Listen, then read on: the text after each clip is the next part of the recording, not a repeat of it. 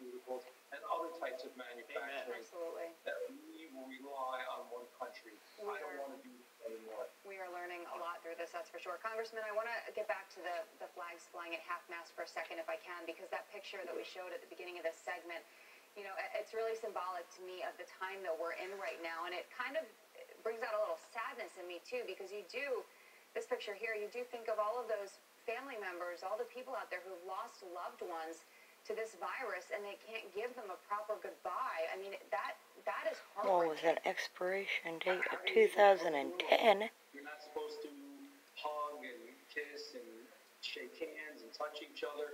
So people that are friends and, and, and, and people that cared about these other individual human beings so much, we are literally not able physically to touch the way that human beings normally do.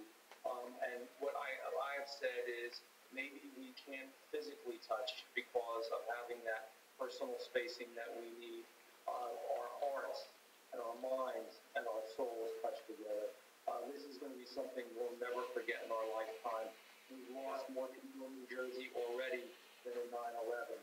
Um, this is a very, very difficult time. That flag, when it's half-mast, that represents all the people, whether they are doctors, uh, first responders, bus drivers, people who are even supplying food, all those for people who are on the front line, who are taking a chance for us as well, and willing to actually, and some of them have lost their lives. It represents them as well.